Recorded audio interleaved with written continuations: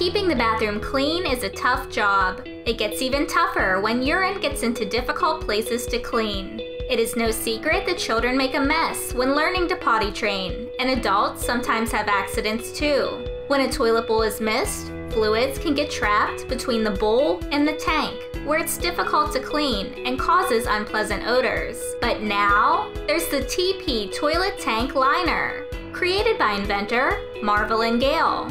The invention is an absorbent panel that fits between the toilet bowl and tank to stop urine from splashing in between these two areas. The liner is made from absorbent, biodegradable material with thousands of micropores. These allow it to hold up to 20 times its weight in liquid without dripping for easy cleanup. When wet, it releases a built-in fragrance and changes color, so you know when to change it. Ready to learn more? Contact us now for manufacturing, retail, wholesale, distribution, or licensing opportunities.